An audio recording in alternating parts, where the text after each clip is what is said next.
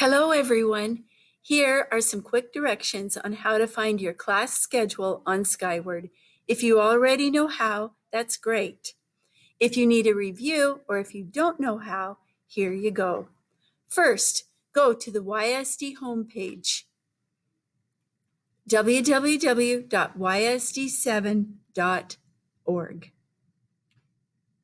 Then you will see up in the right hand corner where the arrow is, click on Skyward.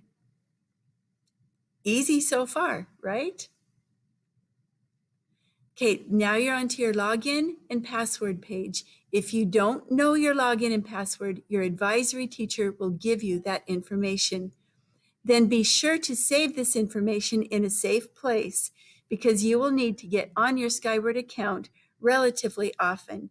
Also, you can change your password by clicking on Forgot Your Password, which is right up here, right there. So take advantage of that to choose a password that you are familiar with. Next, click on Schedule where the yellow arrow is pointing. And then, then, ta-da! Your schedule will be right there where the arrow is also pointing. And you have your schedule.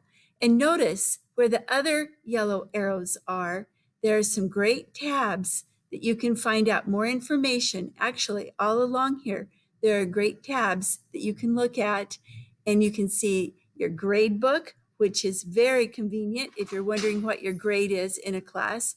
You can see the calendar and your academic history.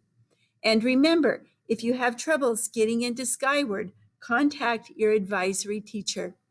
Skyward is your friend. The end.